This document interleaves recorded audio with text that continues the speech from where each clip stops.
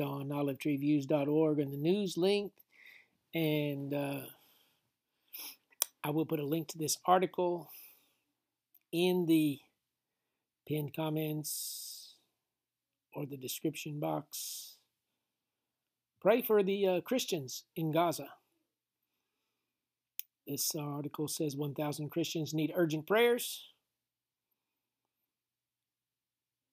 as they are in danger in the midst of the confusion.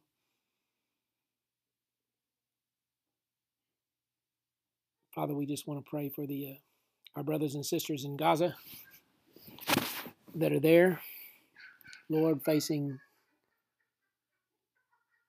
facing the uh, danger from terrorists, the danger from the hatred. And Lord, we ask you give wisdom to those who have righteousness and love in their hearts, Lord, to do the right things that are needed to protect them, Father, and to have wisdom. And Lord, we just pray these things in Jesus' name. Amen.